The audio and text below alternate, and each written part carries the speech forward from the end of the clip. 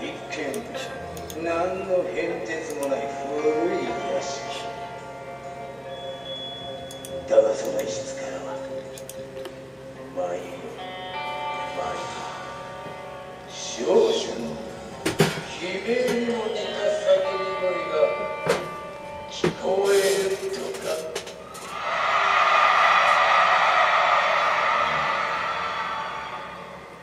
少女の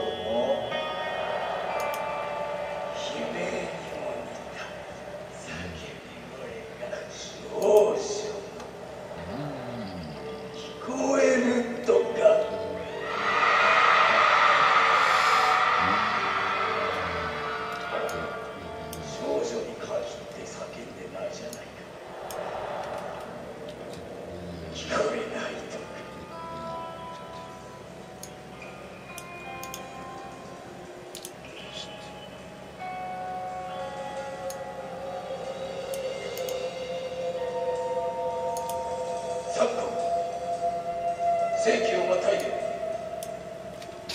老人形にしてほしいやつがあまりにも増えているために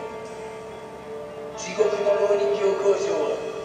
それはもう大忙しで天安マニアさんによって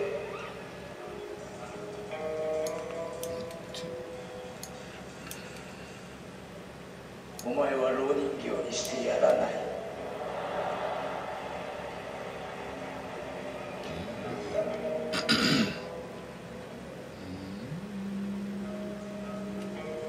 2階は跳ねすぎるという構造